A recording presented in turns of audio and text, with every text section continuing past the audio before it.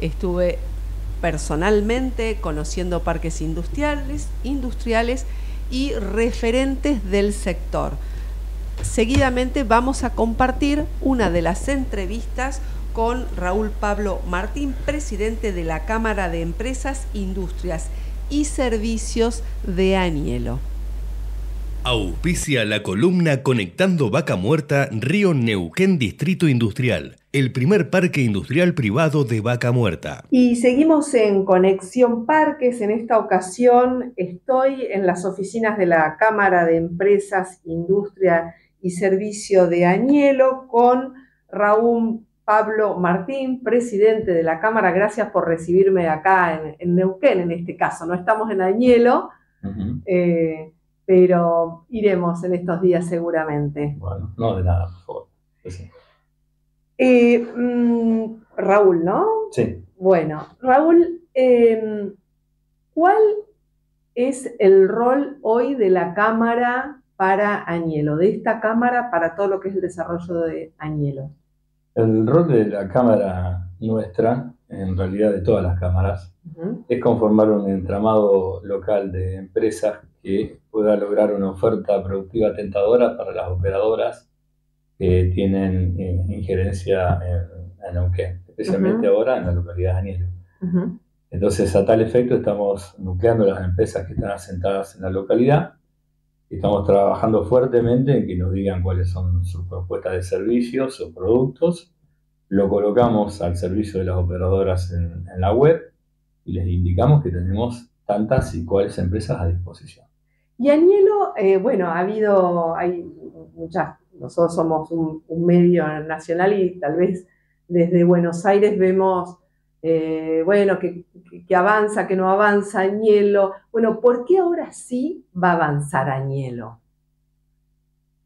Es una linda esa la que dijiste, ya, lo dijiste que va a avanzar, ojalá que sí. Así dicen, ¿no? Dice, ahora sí. Lo que pasa es que es, es casi eh, imposible que no avance porque somos eh, la segunda reserva de gas del mundo y la cuerda de petróleo. Y Vaca Muerta eh, está bajo pañuelo prácticamente. Lo que es importante es que avance ordenadamente. Claro. Vos dijiste que avanzar. Lo que tenemos que lograr es que avance ordenadamente a En infraestructura, en servicios.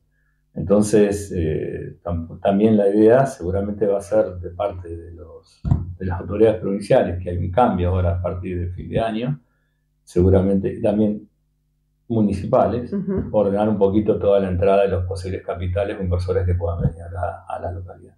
Claro, para que sea además un, desarrollo eh, sostenible ¿no? para la comunidad, que, que, quede la riqueza también en Añelo.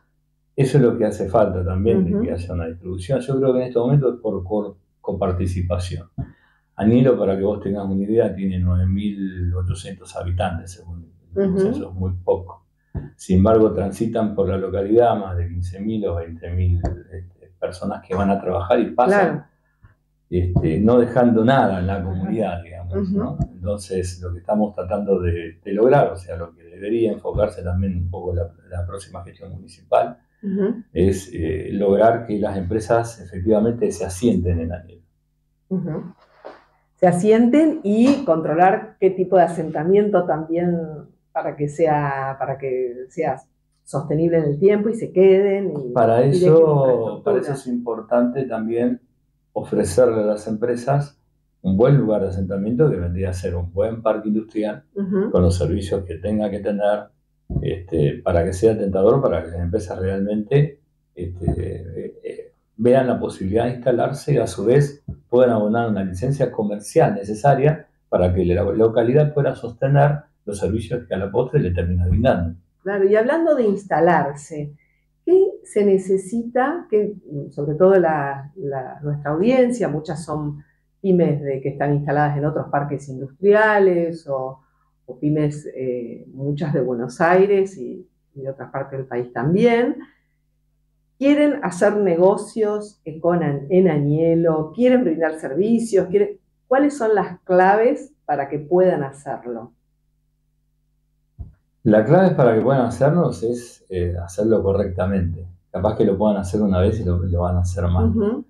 este, Muchas, muchas empresas que vienen de afuera tienen que tener en cuenta que existe en la provincia en vigencia la ley de compra en que es la ley 3338, la cual establece claramente que una empresa tiene que tener eh, esa ley eh, vigente ante las operadoras. O sea, las operadoras tienen que tener en cuenta el cumplimiento de la ley que indica que se tiene prioridad la empresa neuquina por ser una empresa foral.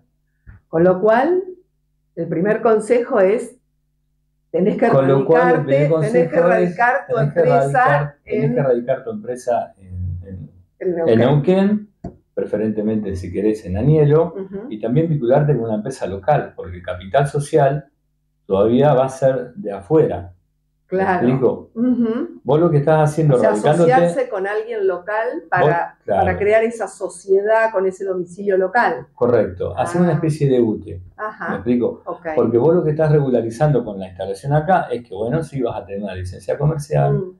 eh, sí vas a tener un lugar, sí vas a tener, vas a contratar gente de la localidad, vas a tener una cuestión que es relacionada con la responsabilidad social empresaria, que es muy importante, pero al mismo tiempo es necesaria una vinculación con una empresa local. Fundamental.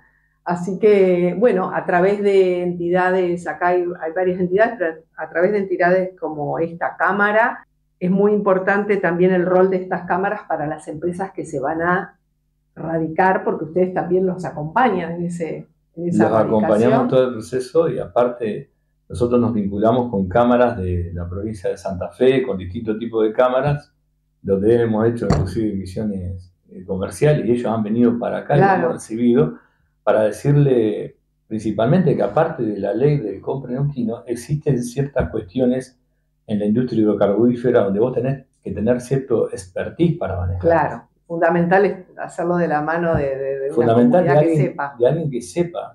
Por eso es que nosotros hacemos también desde la Cámara mucho también en la capacitación de la mano de obra local. Mm. Trabajamos con la Fundación Pilares Danielo, en el Instituto Tecnológico de Danielo, con la Bolsa de Desocupados de la localidad, formando gente para que las empresas que vengan a radicarse encuentren en la misma localidad las soluciones que están buscando.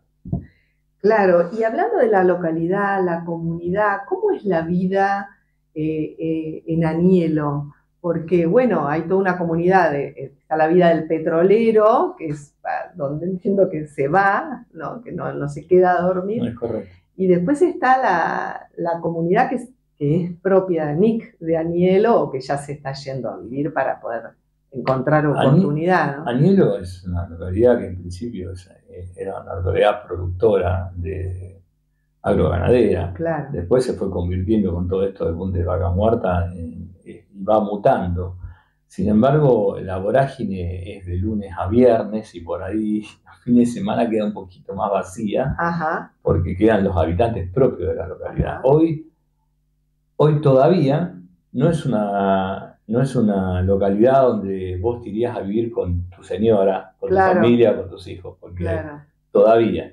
Esperemos que en corto plazo se, se, pueda convertir en lo que se soñó alguna vez, una nueva Dubái porque tiene todas las condiciones como para hacerlo. Tiene las condiciones. Tiene las condiciones en el sentido que tiene los recursos.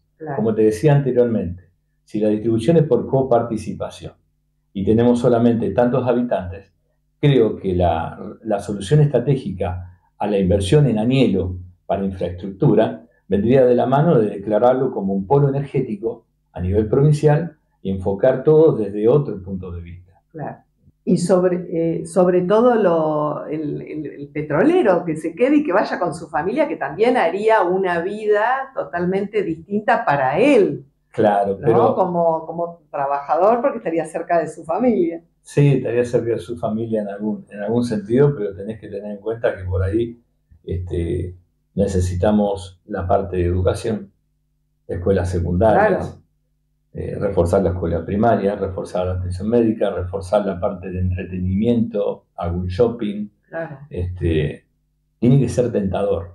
hoy por hoy no lo es, pero puede serlo. Puede serlo. Sí, puede serlo. Bueno, van a, van a trabajar desde la Cámara y desde el, nuestro rol. posible. Bueno, serían un grande... Seríamos ya medio intendentes. Los grandes, Pero los grandes beneficiarios, además, ¿no? El comercio, el servicio, porque alimentaría muchísimo. Obviamente. El consumo y el trabajo. Cuando yo hablaba con el resto de los, de los asociados que, que yo tengo a cargo como presidente, y me decían, ¿por qué Raúl invertís tanta plata nuestra, de nuestra Cámara, en capacitación? Yo tuve que dejar de lado la parte filantrópica y explicarle que ganaban.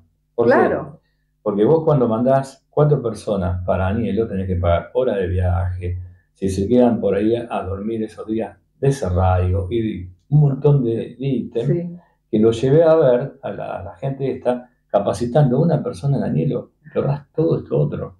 Entonces ahí hubo un clic, un cambio de, cabeza y entendieron el porqué de, de mi intención de capacitar a la gente de la localidad. Raúl, muchas gracias por recibirme. La próxima la haremos ahí eh, seguramente en Anielo, viendo cómo, cómo están llevando adelante este ordenamiento también y conocer el, parque industrial y las novedades que, que seguramente va a haber en una próxima etapa. Muchas gracias. Gracias a vos. Auspició la columna Conectando Vaca Muerta, Río Neuquén, Distrito Industrial, el primer parque industrial privado de Vaca Muerta.